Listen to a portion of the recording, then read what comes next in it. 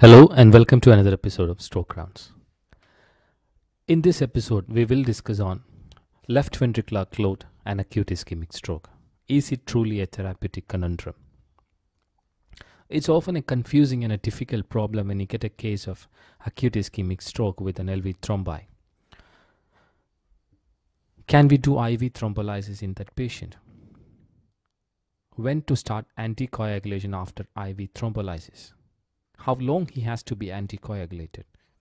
Is there any relationship of starting anticoagulation with the IV RTPA kinetics? These are the questions we often face when you get a patient like this. As usual, we will start with a case. So, this is the story of a 67 year old male. He is a non coronary artery disease patient. He is on antiplatelet since 2008. He presented with sudden onset grade 1 to 2 weakness of left side and he was taken to nearby hospital in the winter period. An MRI was taken there which shows a right capsuloganglionic and corona radiata infarct with an M1 cutoff, occlusion of M1. So this is the report, absent opacification of right MCA, corona radiata capsuloganglionic infarcts. So he was promptly referred for thrombectomy. So he came after one and a half hours of the index event on examination in the emergency room, his power was normal. So a CT angiogram was taken, which showed complete recanalization of his vessels. So the usual suspect of the embolic stroke was the question. So we did a echocardiogram in the ER, which showed a left ventricular thrombus.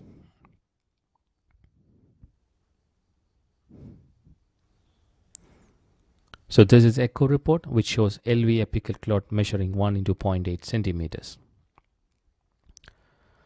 So this is one of the interesting papers which was published in Frontiers in Neurology, early administration of therapeutic anticoagulation following IV RTPA. In this case report, they have started therapeutic anticoagulation with heparin uh, 12 hours after IV thrombolysis. I recommend you all of you to go through this. So let's discuss on LV thrombi and cardioembolic stroke. So as you know, 20% of all strokes are cardioembolic strokes and one third of all cardioembolic strokes are due to LV thrombi. They are usually seen following an acute MI or chronic ventricular dysfunction. The myocardial injury will lead to regional wall motion abnormality, stasis of blood and cardiogenic thromboembolism. Usually they are seen within first 3 months after the index event. A transthoracic echocardiogram is 96% specific. If not, you can always do a contrast enhanced cardiac MRI which is 99% specific. Highly mobile clot, a clot protruding into the lumen and central echolucency are the clots that possess higher risk for thromboembolism there is a theoretical risk of destabilization of the LV thrombi when you're thrombolyzing the patient, but it is negligible.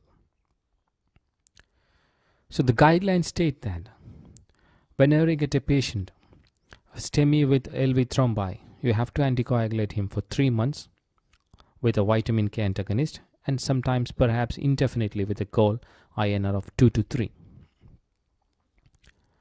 This WARCEF trial, the famous WARCEF trial, the warfarin versus aspirin in reduced cardiac ejection fraction, they have found out that if you start warfarin when compared to aspirin alone, there is lesser strokes. So consider warfarin in patients with previous strokes or TIA if they have reduced cardiac ejection fraction. So alteplase has got two types of half-lives. One is the alpha phase half-life and the beta phase. Its alpha phase is much faster, 3 to 6 minutes, and the beta phase, due to slower excretion, around 26 to 40 minutes. So theoretically, after 40 minutes, the action should be gone.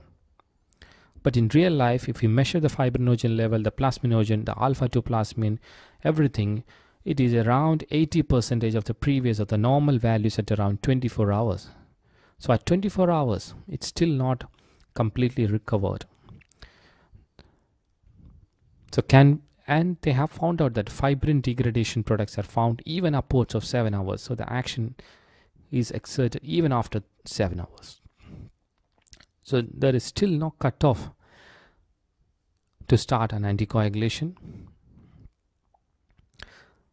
There are a lot of studies and a study which showed 60 acute ischemic stroke patients who received IV RTPA then followed by nadroparin twice daily immediately and they have found out those who have received it after 24 hours and immediately they had similar rates of symptomatic intracranial hemorrhages. So, what are the key takeaway points? Yes, thrombolysis is definitely possible. In a high risk LV thrombi, it is reasonable to start anticoagulation early and it's a must to start anticoagulation after 24 hours. So, there are case reports which states that we can start anticoagulation at 12 hours. At least 3 months of anticoagulation is a must in these patients, preferably with a vitamin K antagonist. Thank you. Please leave your comments in the comment sections below.